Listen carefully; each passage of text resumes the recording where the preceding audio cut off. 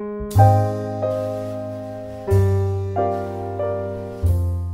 name is Dot Nary, and I do research here at the Research and Training Center on Independent Living at KU.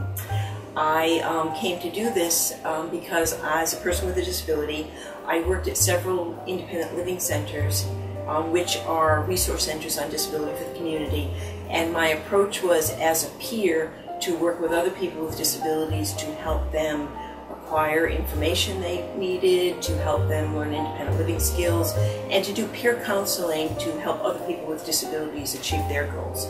So um, I realized that we were not addressing health in the work we did, and I came here to KU to work with my advisor, who also uses a wheelchair, to look at ways that we could help people with disabilities be healthier so that they, they could enjoy civil rights.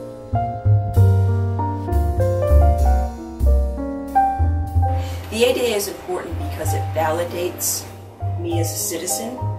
It affirms that I have the same rights and responsibilities as other people. So I have the right to vote.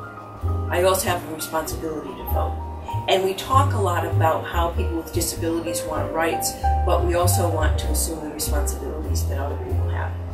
Um, but on a much larger scale, it's not just about my right or the right of other people with disabilities to do things. It's about communities and a nation in which everybody can participate.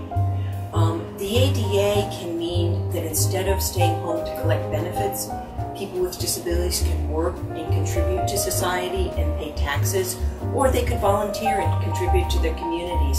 It means that everybody can be involved, everyone can be equal, and that we all benefit when, when everybody can participate. So to me, the ADA is much more than curb cuts that facilitate my getting around in the community. It's a mindset where everybody is important and equal. And that's, to me, that's the real message of the ADA.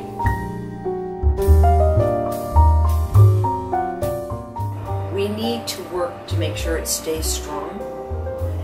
Um, we need to work to make sure that the purpose behind the ADA, that everyone is equal and contribute, remains at the forefront.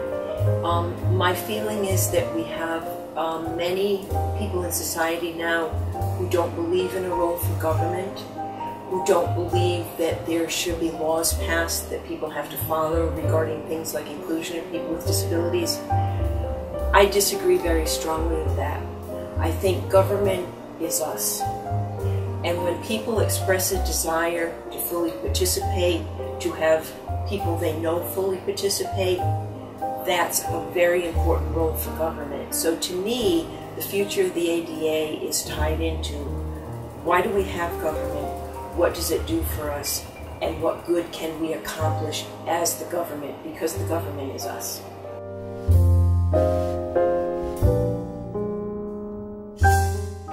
It's important that a lot of people, to recognize that a lot of people really don't understand the ADA.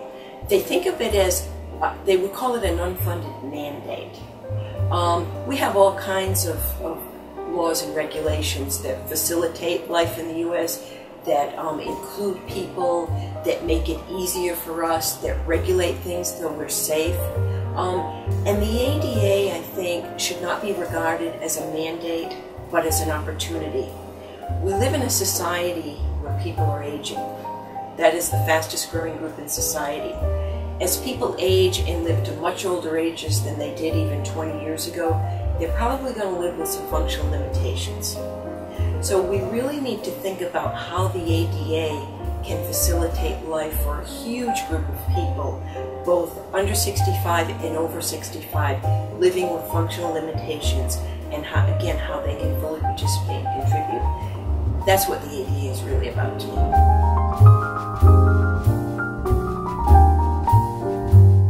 Happy birthday, ADA, and many more years of equal rights for people with disabilities.